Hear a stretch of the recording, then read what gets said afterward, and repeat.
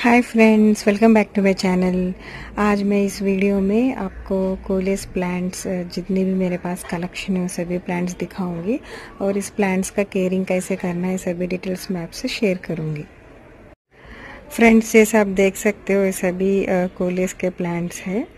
तो ये प्लांट्स के लीव्स बहुत खूबसूरत दिखते हैं और थोड़े से कलरफुल भी रहते हैं। एंड इसके कलर्स काफ़ी लाइक डिफरेंट शेड्स में आपको मिल जाएँगे। एंड इसको आप अपने गैलरी गार्डन में ऐड करने से आपका गैलरी का लुक काफ़ी अच्छा दिखेगा। एंड ये प्लांट्स ग्रो करना बहुत इजी है। अभी विंटर सीज़न में ये प्लांट्स अच्छे से ग्रो हो जाएँगे।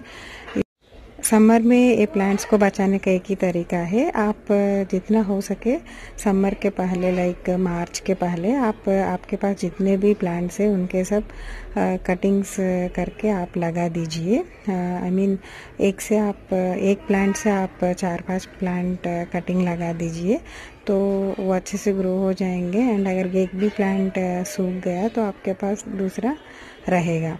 तो अभी ये प्लांट्स का सनलाइट रिक्वायरमेंट के बारे में बताती हूँ।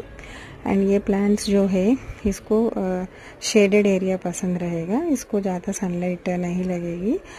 सुबह की मॉर्निंग सनलाइट थर्टी मिनट्स या वन आवर तक मिल गया तो चलेगा।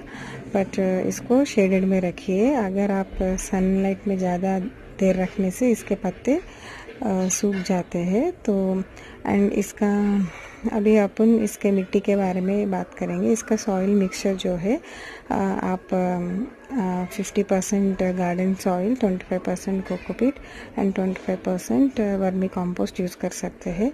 अगर आप चाहे तो गार्डन सॉइल में थोड़ा आप सैंड भी मिला सकते हो। एंड फर्टिलाइज़र इसको इतना ज़रूरी नहीं है बट आप दो तीन महीने में एक बार थोड़ा सा सीवीड दे सकते हो, वर्मी कंपोस्ट या काउडंग भी दे सकते हो।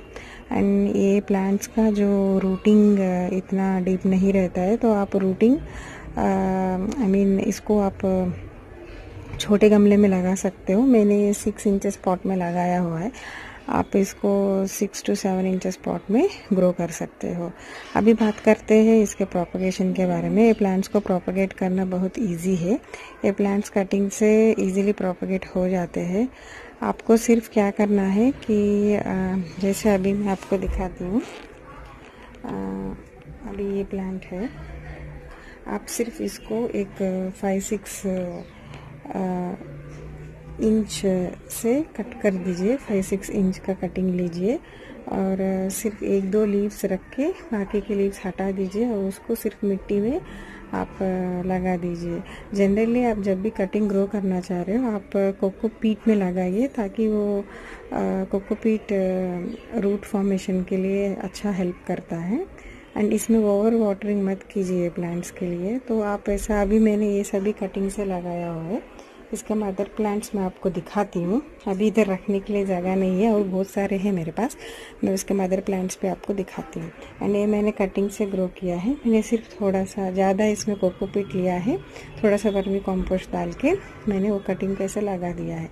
तो ये अच्छे से ग्रो हो गए। एंड ये अभी मैं आपको कलेक्शन दिखाती हूँ जितनी भी मेरे पास वेराइटीज़ है। ये एक वेराइटी है। इसके लीव्स आई मीन अच्छे से शेड्स इसके अच्छे रहते लीफ के शेड्स तो ये बहुत uh, अच्छे दिखते हैं गार्डन में। ये देखिए इसका कलर ऐसा है। एंड मैंने दो कटिंग्स लगाया था मदर प्लांट से। एंड uh, uh, ये एक शेड है मेरे पास। एंड ये एक जैसे आप देख सकते हैं इसको थोड़ा सा सनलाइट हल्की सी सनलाइट सुबह की आ, लगा था तो ये सनलाइट से ये लीव्स ऐसे बर्न हो गए थे। तो इसीलिए ये प्लांट्स को ज़्यादा सनलाइट में नहीं रखना है। अगर आप ये दूसरा एक है। आ, अभी आप देख सकते हो ये इसका इसको ऐसा फ्लावरिंग करता है प्लांट आपको फ्लावरिंग नहीं रखना है। अगर आप फ्लावरिंग रखें तो क्या होगा कि प्लांट का जितना भी एनर्जी है फ्लावरिंग में चले जाता है। तो आप इसको फ्लावरिंग हटा दीजिए। मैंने इसीलिए रखा है ताकि मैं आपको दिखा सकूँ। आप सिर्फ़ इसको यहाँ से पिंचिंग कर दीजिए। तो इसको ऐसा निकाल देना है। तो अभी इधर से दो तीन ब्रांचेस आ जाएँगे। तो इससे आपका प्लांट काफ़ी बुशी रहेगा। जैसे देख सकते हो, अभी थोड़ा प्लांट बुशी है। एंड ये वाले प्लांट्स थोड़ा सा लेगी है, आप देख सकते हो।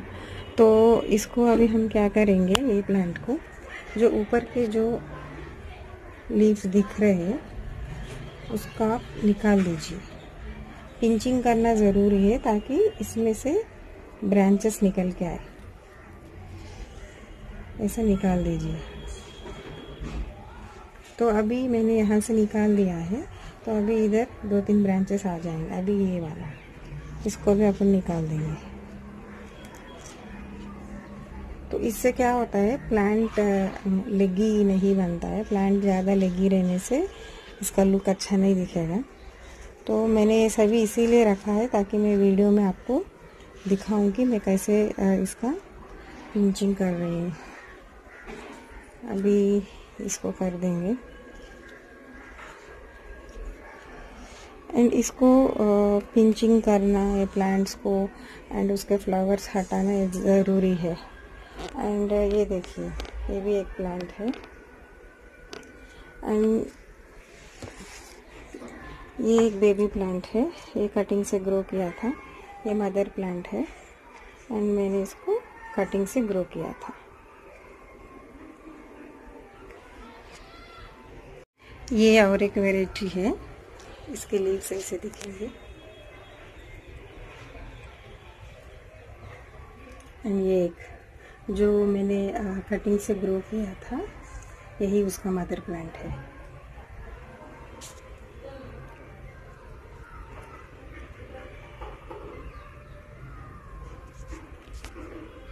एंड ये एक वेराइटी है, इसके लीव्स देखिए। ये भी प्लांट इतना ग्रो नहीं हुआ है। इसको मैं थोड़ा सा पिंचिंग कर देती हूँ। पिंचिंग करने से ब्रांचेस अच्छे से और इधर आएँगे दो तीन ब्रांचेस नए वाले ब्रांचेस शूट आउट करेंगे।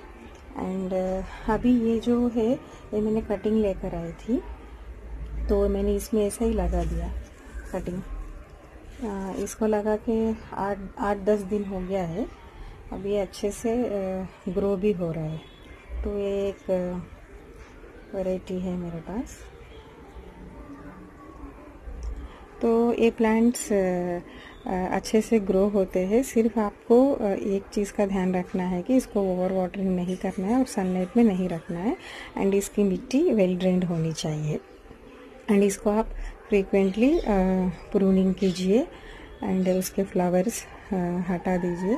तो ये अच्छे से ग्रो होगा। एंड समर में इसका थोड़ा ज़्यादा केयर लेना पड़ेगा आपको। तो इसको सिर्फ़ आप समर uh, आने के पहले इसके कटिंग्स किधर भी ऐसे लगा दीजिए तो और बहुत सारे प्लांट्स मल्टीप्लाई भी हो जाएँगे। अगर एक दो प्लांट भी आपके सूख गए तो आपके पास कलेक्शन रहेगा। तो मैं अभी आपको एक एक दिखाती हूँ। मेरे पास जो भी वेराइटीज़ है, पास से।